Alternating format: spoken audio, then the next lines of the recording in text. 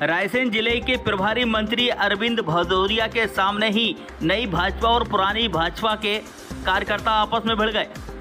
पहले स्वागत करने को लेकर दोनों टीमों में जमकर विवाद हो गया।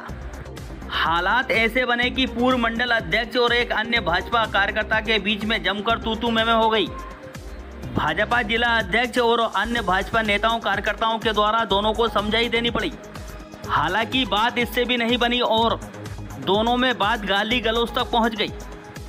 बताया जाता है कि पूर्व मंडल अध्यक्ष मिट्ठू लाल धाकड़ पूर्व कैबिनेट मंत्री डॉक्टर गौरी शंकर सेजवार के समर्थक हैं। तो वहीं अन्य कार्यकर्ता, स्वास्थ्य मंत्री डॉक्टर प्रभुराम चौधरी का कट्टर समर्थक है।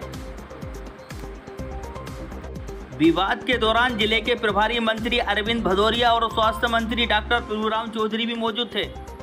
घटना को लेकर रायसेन जिला भाजपा और राजनीतिक गलियारों में घटना को चटकारे ले लेकर भाजपा कार्यकर्ता एक दूसरे को सुना रहे हैं। तो दूसरी ओर कांग्रेस कार्यकर्ता इस मामले का बड़ा जमकर मज़ा ले रहे हैं। आदर्श न्यूज़ के लिए रायसेन से जिला ब्यूरो चीफ अजय गोहिल की रिपोर्ट।